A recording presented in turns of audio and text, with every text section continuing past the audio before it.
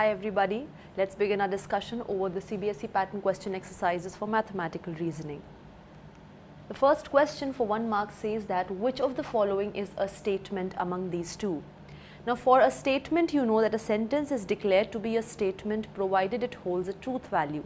If it fails to hold the truth value it is no more a statement. There should be no confusion or doubt regarding the truth value of that sentence. If I talk about 6 has 3 prime factors, you all know that all the factors of 6 are 1, 2, 3 and 6.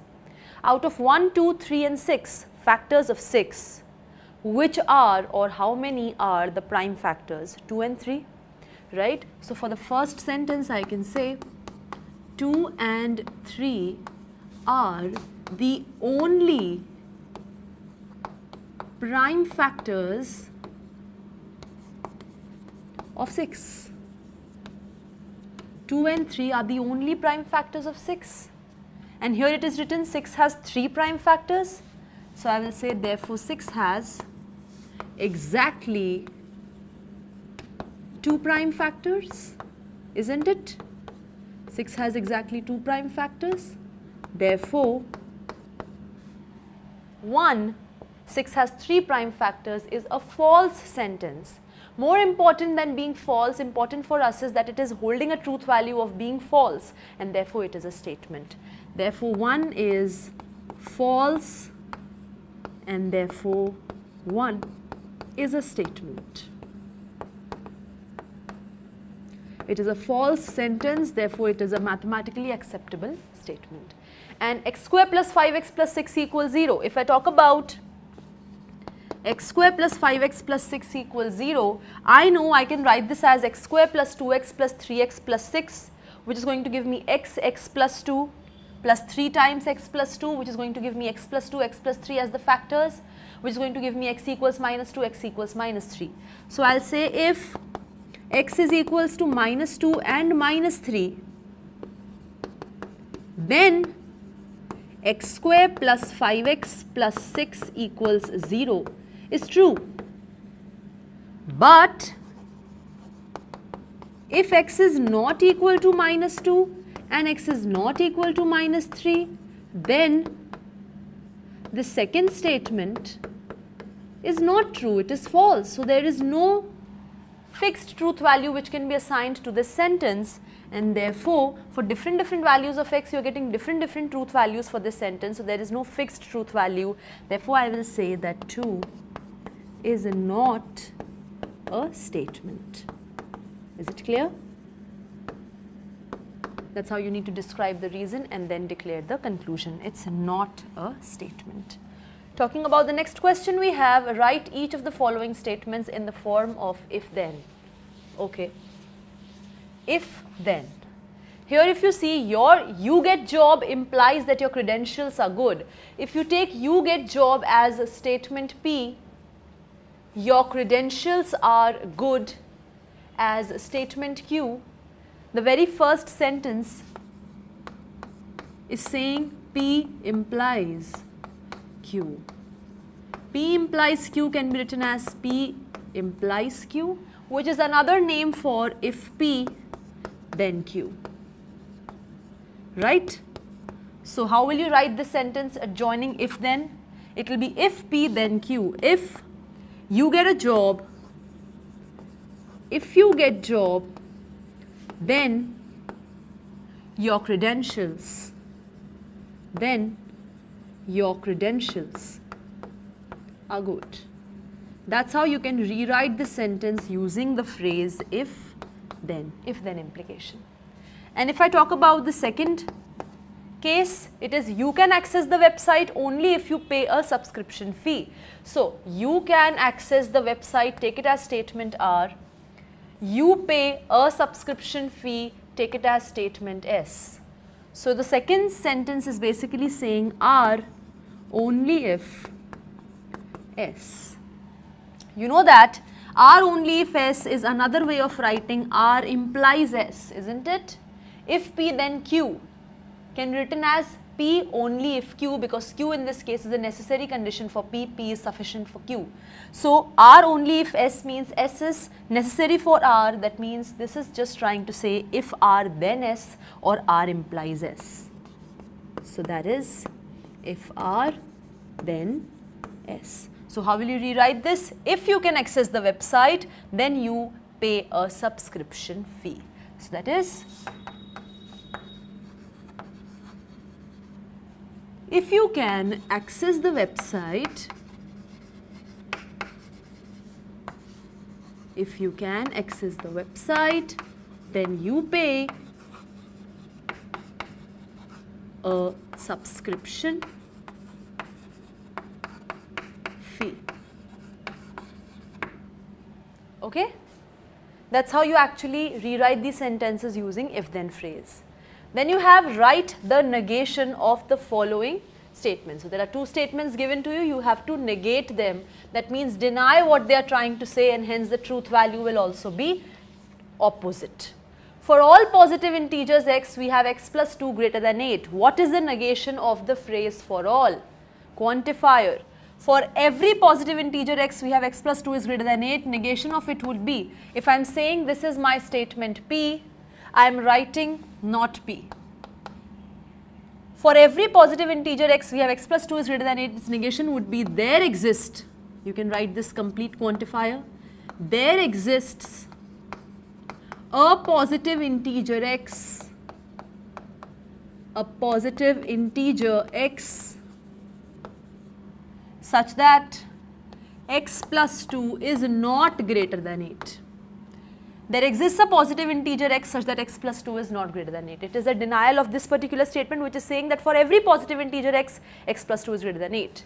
Or you can also say in other way, there exists a positive integer x such that x plus 2 is, if it is not greater than 8, that means it is less than equal to 8. So these, this or this happens to be the negation of this first statement. Second is, some students are 25 years or older. Some. What is the negation of some? None. Right? Even if there is one student which is 25 year or older, its negation would be none of the students are 25 years or older. So what is the negation? So if I am saying this is my statement Q, then not Q is none of the students are of 25 years or older. Or you can also say, just write it in a positive sense. Every student is under 25 or below 25 years in age. Every student is under 25 or you can say none of the students are above 25 or 25 or older. Fine. So, this is alternative fashions of writing the negation of the same statement. Then we have what? Write the contrapositive. So, after negation we have contrapositive. You should know if we have P implies Q as my statement, then contrapositive of it would be not Q implies not P. So if two lines are parallel, then they do not intersect in the same plane. If whatever is being written after if before then is my statement P, whatever is being written after then till the full stop is my statement Q. You have your first statement given to you as an if then implication, if P then Q. Its contrapositive is what? Its contrapositive is if not Q, then not P. If you know P and Q, that means you know not Q and not P as well. So just write down this statement by correct interpretation of not Q and not P, simple statements. So not Q, lines do not intersect in the same plane. If lines intersect in the same plane, so if not Q is denial of Q, lines intersect in the same plane. Q said lines do not intersect in the same plane. So, not Q will say lines will intersect in the same plane.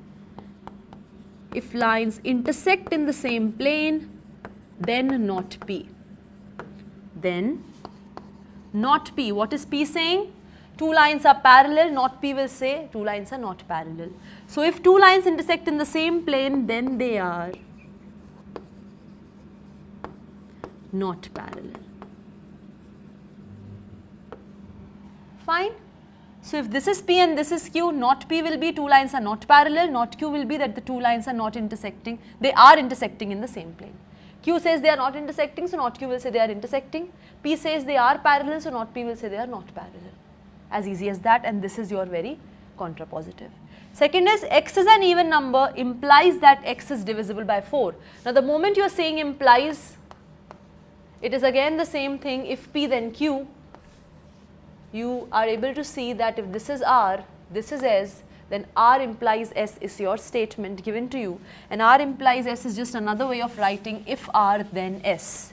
So your second statement actually is R implies S that is nothing but if R then S. Same thing just written in a different fashion. So its contrapositive again would be what? Exactly same thing. The moment you have if then implication you can very easily write the contrapositive. It is if not S then not R. S is what? X is divisible by 4. So not S will be if X is not divisible by 4. X being not divisible by 4. Then not R. R is X is an even number. So not R will be X is not an even number. Then X is not an even number you can write or you can write it's an odd number. It's the same thing. Clear?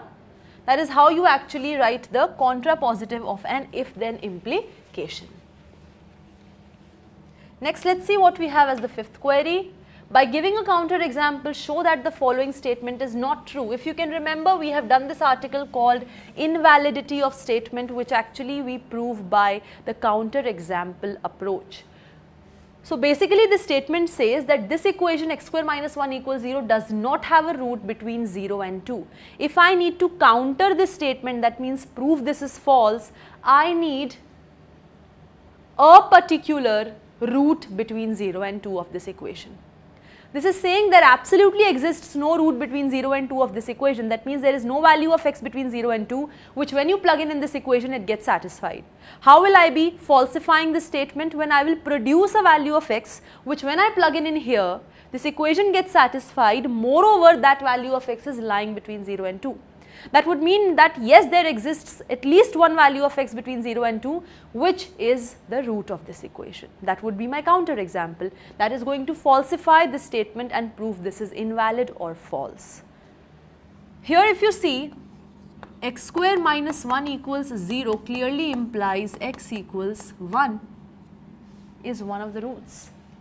x equals 1 is a root of this equation and 1 lies between 0 and 2, isn't it? 1 strictly lies between 0 and 2. Therefore, I have got a root of this equation x square minus 1 equals 0 which is lying between 0 and 2. So, this statement is false which is saying that this equation does not have even one root between 0 and 2. So, therefore, P is false or you can write it is invalid. Is it clear? And that's my counter example. x equals 1 is my counter example. Next we have write the component statements of each of the following statements and also check whether they are true or not.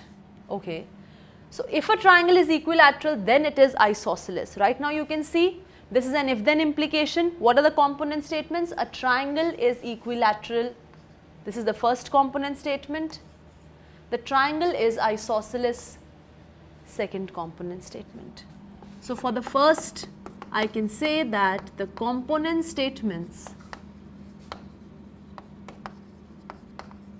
the component statements are P and Q, that a triangle ABC is equilateral here I can say that a triangle ABC is isosceles. These are the two component statement which have been combined together by the if then phrase to get this compound statement which is if then implication. So these are the two component statements. Now based upon the truth value of these component statements I will be declaring the truth value or validity and invalidity of my given statement number 1 because we have to show whether these statements are valid or not or true or not. I know if P then Q is valid when? I should be aware that if P then Q is trying to say that whenever P holds Q should hold. If P is holding and Q is not able to hold in that situation then if P then Q is an invalid statement. If P then Q clearly means that whenever P will hold then Q has to hold because P over here is a sufficient condition for happening of Q. If P is holding, if P is happening, if P is existing, if P is occurring then it is sufficient for Q to occur. It is a sufficient condition for occurrence or happening or existence of Q. So if you say if P occurs this implies triangle ABC is equilateral. Suppose P is occurring that means you have a triangle ABC which is equilateral that means all the three sides of that triangle are equal. Then clearly if three sides of the triangle are equal then any two sides of course you can fix any two sides which are obviously equal right if you have all the three sides equal clearly any two sides are always equal.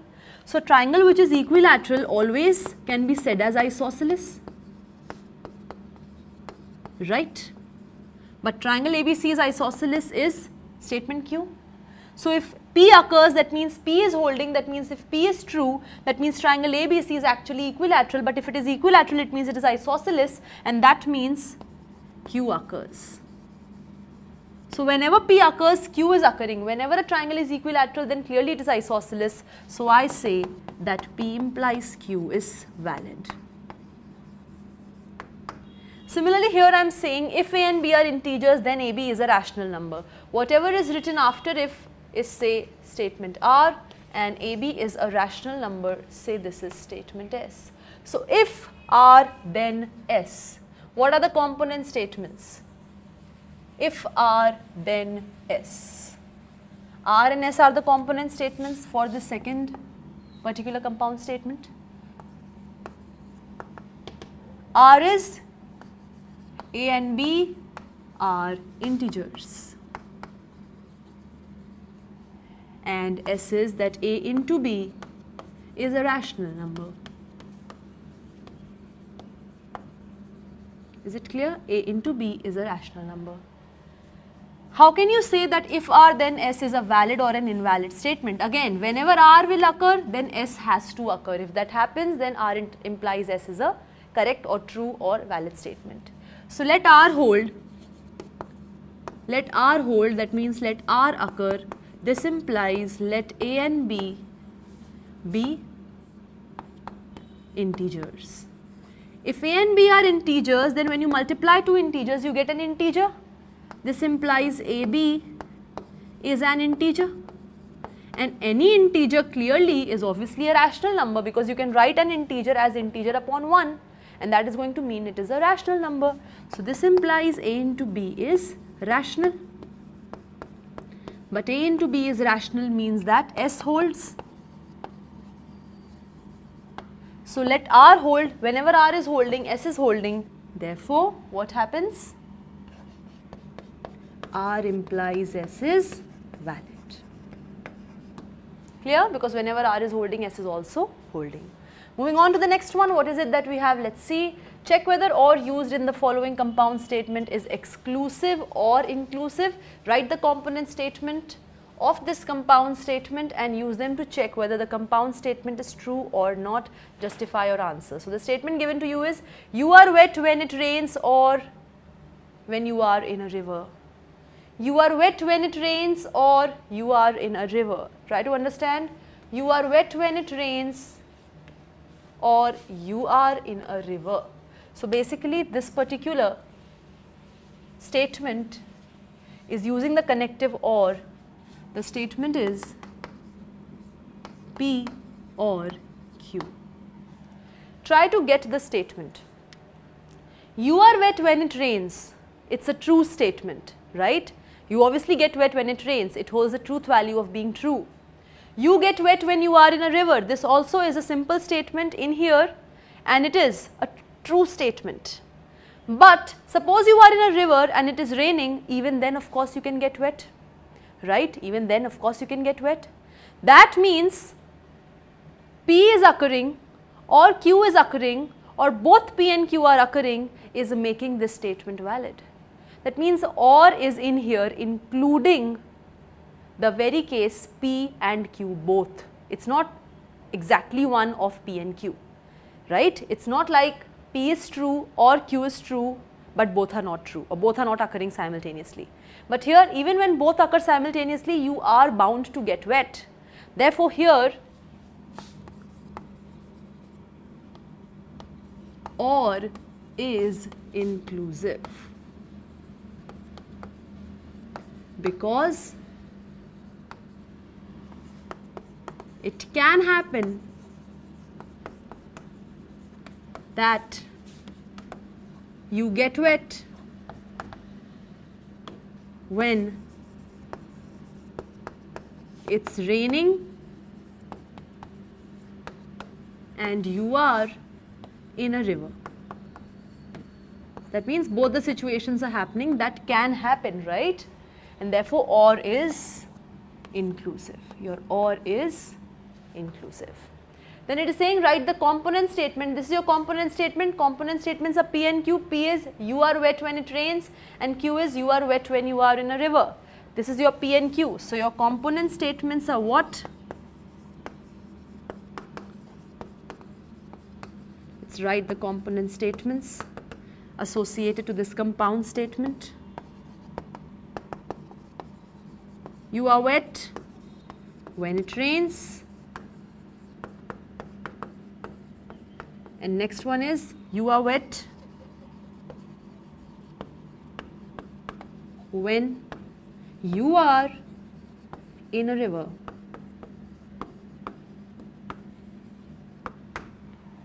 Of course, this is holding truth value of being a true statement. This is holding truth value of being a true statement. P or Q. We have to check the validity of P or Q. P or Q is true when either P is true, Q is not true or Q is true, P is not true or both are true. P or Q statement is false only and only when both P and Q are false. Right now you can see P and Q both are true and this is the situation when I can say P or Q is true. Therefore, P or Q which is my statement T is valid or you can say true as both P and Q are true. And P or Q statement is false only and only when both P and Q are false. If P is true, Q is not true or Q is true, P is not true or both are true, then P or Q is true. Moving to the next, we have write the negation of the following statements. This is pretty easy. Let's discuss this. Okay. The first statement is for every real number x, x square is greater than x. What is its negation? What is the negation of for every? There exists a real number x such that x square is not greater than x that means it is less than equal to x. Either you can say it's not greater than x that means like this not greater than x or less than equal to x. This is the negation. Q is there exists a rational number x such that x square is 2. Its negation is what? For every rational number x, x square is not equal to 2. You pick up any rational number x, x square is not equal to 2 is the negation of that there exists a rational number whose square is equal to 2. All birds have wings all birds have wings. There exists at least one bird which has no wings. Which has no wings. Fine. This is the negation. And then you have all students study mathematics at the elementary level. there exists a student which does not study which does not study mathematics at elementary level. This is the negation of the given statement S. Is it clear? This is how you write the negation, it's pretty easy. It's just for every will be is the quantifier whose negation is going to be the statement involving for every is going to have its negation involving there exist. The statement involving there exist is going to have its negation involving the quantifier for every. Next we have for the given statement identify the necessary and sufficient conditions. So, statement is given by the name T. If you drive over 80 kilometers per hour then you will get a fine. So, here statement T is actually if P then Q where what is my P? It's an if then implication. You drive over 80 kilometers per hour. You drive over 80 kilometers per hour is P and you will get a fine is Q. So, P is you drive over 80 kilometers per hour. Okay, and then Q is you get a fine write the necessary and sufficient condition. You know that in the statement if P then Q, Q happens to be the necessary condition and P happens to be the sufficient condition. Why? I am saying if you drive here, if you drive over 80 kilometers, then this is sufficient for you to get a fine, right? Isn't it? The moment you drive over 80 kilometers, this is sufficient condition for you to be imposed a fine. Therefore, P is sufficient condition, P is sufficient condition for Q. And why am I saying Q is a necessary condition for P? And if you drive over 80 kilometers per hour, then necessarily you get a fine. So, getting a fine is a necessary condition for happening of the very situation of driving over 80 kilometers per hour. Therefore, Q is a necessary condition for P. Is it understood? That's how you write the necessary and sufficient condition. Next, let's see what we have. We have Using the word necessary and sufficient, rewrite this statement, the integer n is odd if and only if n square is odd and check whether this statement is valid or invalid. The integer n is odd if and only if n square is odd means what? You know that p if and only if q means that p implies q and q implies p. This is what is the meaning of p if and only if q. That's how we define it. Write the necessary and sufficient condition. Here you can see, here you can see P is sufficient for Q, here Q is sufficient for P. Here Q is necessary for P, here P is necessary for Q. That is what we conclude from the if then implication. This is if P then Q, if Q then P. So how do you actually write the integer n is odd if and only if n square is odd using the word, the phrase necessary and sufficient. I write the necessary and sufficient condition, the necessary and sufficient condition for n to be odd is that n square must be odd, isn't it? I have just written that the necessary and sufficient condition for P to hold is that Q holds.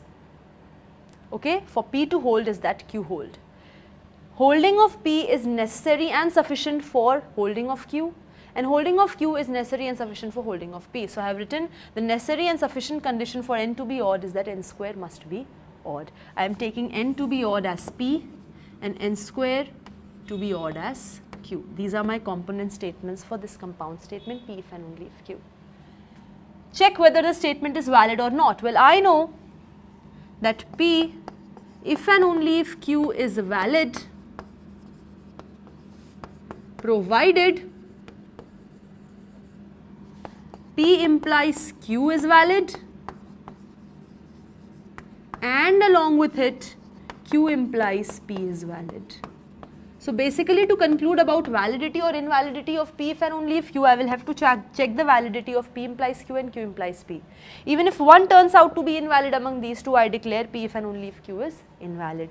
So let's talk about the validity of P implies Q and talk, the, talk about the validity of Q implies P. Validity of P implies Q. How do you prove P implies Q is valid? You assume P is holding and with that assumption show that Q holds. So let P hold. P we have taken as n is odd. That is n is an odd integer. If n is odd, this implies n is of the form 2k plus 1 where k is some integer any odd number can be written as 2 into k plus 1 where k is some integer and any even number can be written as 2 into k where k is some integer some multiple of 2. So n square will be what? 2k plus 1 whole square which is 4k square plus 1 plus 4k. So I can write 2 common 2k square plus 2k plus 1. Of course this is some integer m so I have written this as 2m plus 1 where m is an integer. This implies n square is odd but n square is odd is statement q. So therefore q holds. So when I have assumed p is holding I have got the conclusion that q is holding that means if p then q is valid. Now just if if q then p also turns out to be valid I will just write that P if and only if Q is valid. So next we have validity of Q implies P. I have to show if n square is odd, then n is odd is a true statement. So either show Q implies P is true or show its contrapositive is true is the same thing. Not P implies not Q. If not P implies not Q is valid, clearly Q implies P is valid. If not Q implies not P is invalid, Q implies P is invalid. It's the exact same thing said in a different fashion. That is validity of if then implication, you prove that or you prove validity of its contrapositive, it's exactly the same. So I have to show not P implies not Q. That means what is the not p. Not p is if n is not odd, then n square must be not odd. If n is not odd, then n square is not odd.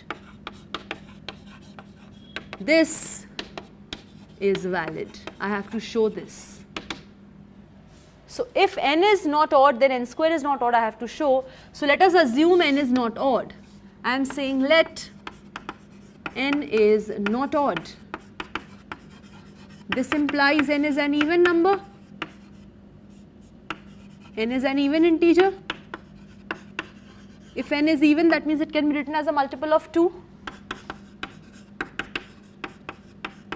for some integer k, which implies n square is 4k square. I can write this as twice of 2k square. 2k square is again some integer m because k is an integer so 2k square is an integer. So this implies n square I have written as 2m where m is an integer. If n square is written as a multiple of 2 this implies n square is even. If n square is even this implies n square is not odd. So I assumed n is not odd and I proved that in that situation n square is not odd and therefore not p implies not q is valid and by the contrapositive approach I have proven that this implies or therefore q implies p is valid. And if you mark this as 1 and mark this as 2, we have got P implies Q is valid and Q implies V is P is valid. So by 1 and 2, P if and only if Q is valid. Is it clear? That's how you deal with questions from mathematical reasoning. Thank you.